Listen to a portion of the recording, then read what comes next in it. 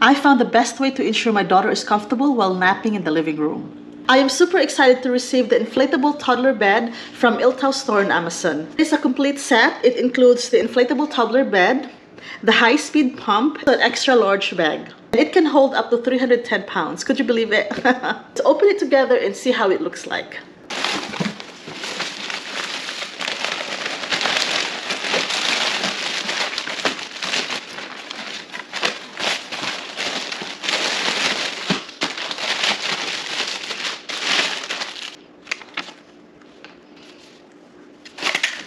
Number one, confirm the large black inflator plug is firmly inserted.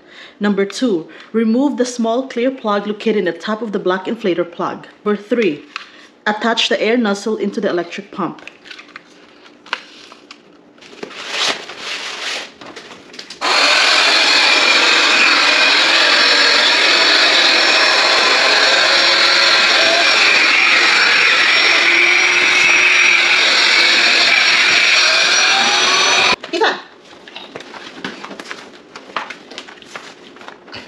Hey,